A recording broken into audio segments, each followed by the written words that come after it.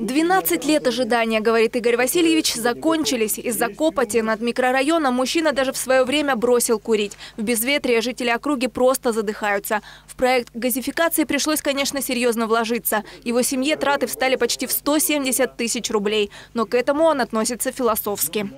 А сейчас газ. Да это здоровье, это продление жизни.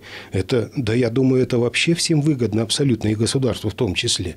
Смотрите, минус больничные, минус расходы на здравоохранение и счастливые семьи. Надо поставить приоритеты по своей жизни. Что ты хочешь в этой жизни?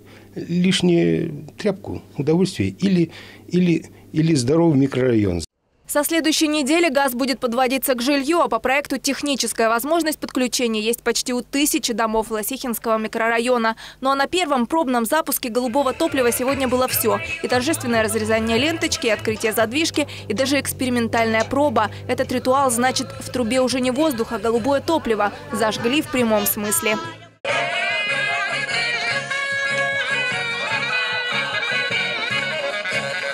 Это сегодня у жителей праздник. Сначала была напряженная работа. От первого собрания жителей в августе 2012 года, сбора подписей, разработки проекта и похода по инстанциям до сложностей, с которыми пришлось столкнуться по пути.